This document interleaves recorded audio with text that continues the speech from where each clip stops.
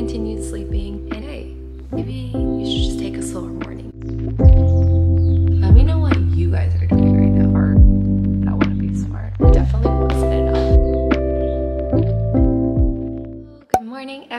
For those that don't know me, my name is Jen. You guys know I've been transitioning more into these daily vlogs. If you haven't already, please like and subscribe. It shows me that you guys really like this content. Last night, I actually went to sleep thinking I was gonna have such a productive morning.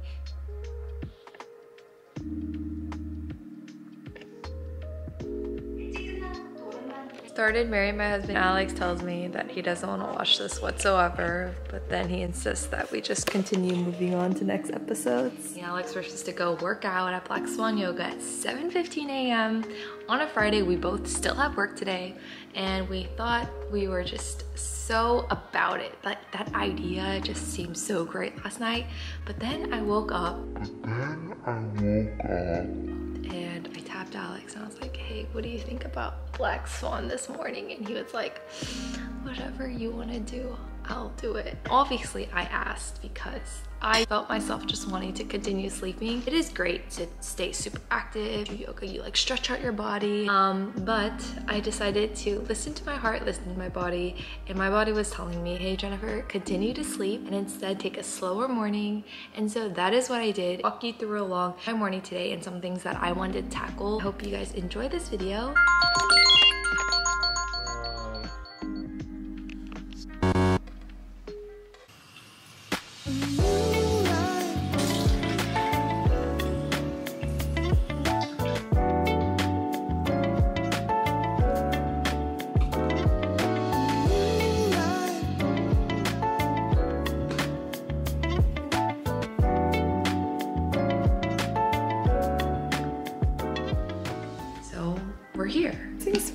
Talk about the Stanley Cup and all the drama they're having. Stanley has kind of taken over this world. Supposedly they contain lead in it, especially here on the bottom. So Hydro Flask completely blasting them too, which I think is just hilarious. On the news a few days ago, this lady like stole $25,000 worth of Stanley Cups at Target, which is kind of crazy because how do you get yourself this stuff and steal $25,000 worth of these Stanley Cups? I don't know, has it been preventing you guys from drinking these because I've still been drinking it.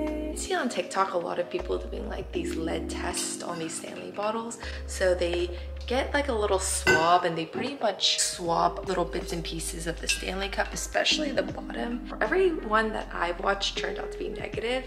So that's why I'm continuing to use this, whatever. Stanley themselves did post that they do have lead in their Stanley bottles. However, the lead is only exposed when the Stanley Cup is broken. That comment itself is a little deceiving because broken, you don't know what necessarily broken means.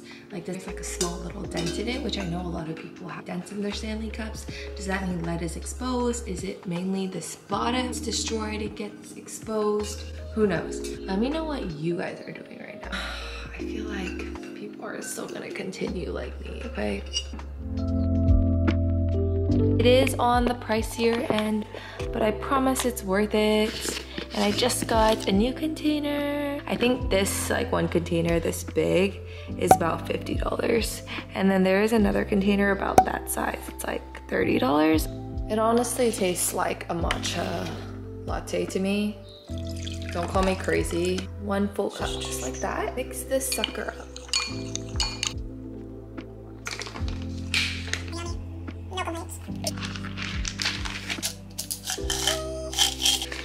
This is where the green juice is convenient.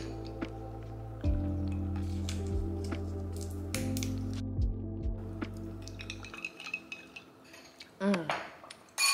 This is so confusing. Cause baby like Are you guys the type that follows directions you kind of just go with it? I first tried putting things together and then if I really can't do it, then I rely on the step-by-step -step guide. Okay guys, what do you think about this new hydrant angle? I think I got it. Oh my gosh, I'm so happy right now. A lot easier than I thought. I think I'm gonna keep it. Hold on. Clean a little bit. This is the stand. Extend upwards. Haven't messed with that yet, so I will learn how to do that.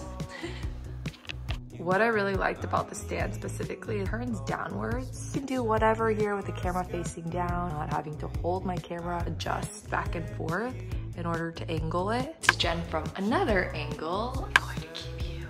I'm just so happy that I figured this out. I'm showing different angles I can go to right now. This feels so fancy. Here, let me prop it up in a different angle.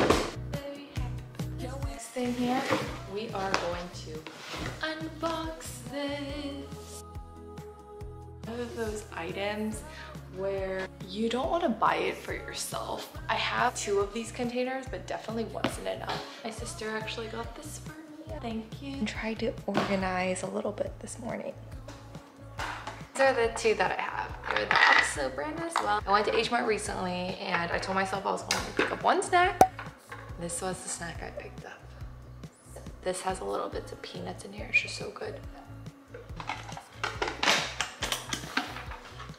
After this, this up and actually utilize it. A longer one, more for pastas. Trust me, we make a lot of pasta in this household. This is so convenient. And we have small ones like this. It's a lot darker than what I currently have. Do you see how the bottom of this? I guess it's like the suction of it is a little better. The push of this is a lot different. Very tight seal. The new ones that I have are circle. The ones I've had previously are square. A medium size now. I think those are the three sizes it comes in. Oh, it's four sizes. Look. Probably transfer my almonds into here. Anyone else just like organizing like this? This is how I used to keep it in the pantry. Now I can just stick it all. Actually mix it with this whole grain wheat pasta. This is from Trader Joe's. It's very hard to cook with because it takes a lot longer for this to boil. The taste is a little bland. Seal it tight. Also have a lot of soba noodles. I didn't know where to store these, so I kept them in the little bag. Might actually put it there. Pasta noodles. If I'm gonna actually stick my almonds back into my original pan because I realized that I'm gonna just buy a lot more almonds anyway. I actually wanted to put my chia seeds in there.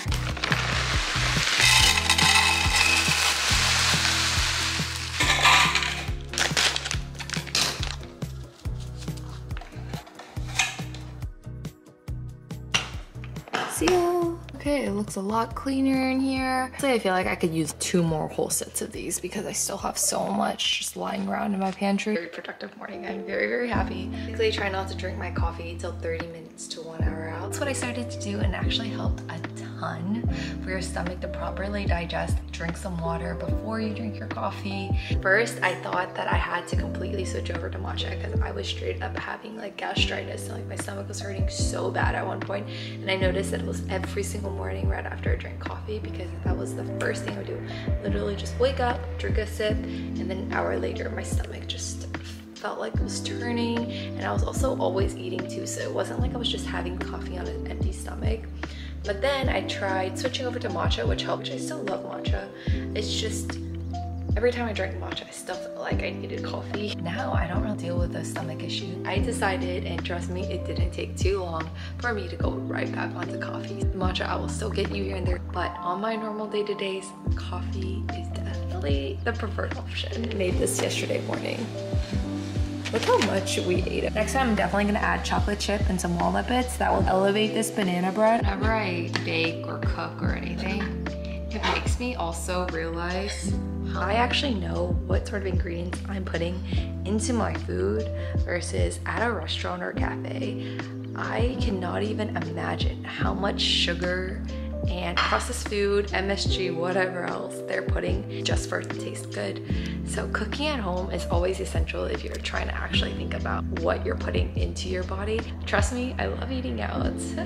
Don't get me wrong, I eat out every single weekend, but from Mondays to Friday, Mondays to mid Fridays, really, really, really, really do try to just cook at home. Back when we were younger, I feel like we could just eat and do anything without feeling the repercussions of it all. As you age, you start realizing that your metabolism, your mind, your energy is just not the way it was before. Just when you can to keep your body at the best potential. So whenever there is a day or a time when you just want to indulge or whenever you want to just treat yourself, you don't have to feel guilty about it whatsoever because of the normal healthy habits that you've maintained on your own.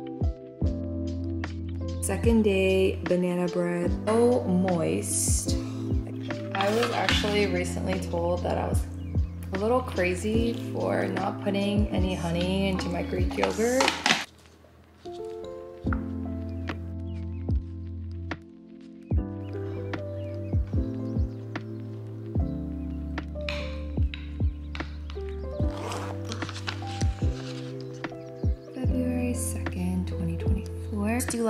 Paragraph. So I would do my little blurb here and then I'll write today I am, and I intentionally write it out. Today I'm thankful for. And I think of three specific topics that I'm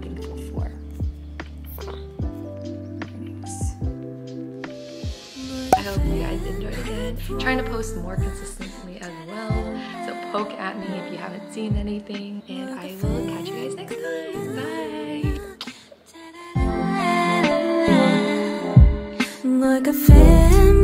Bye.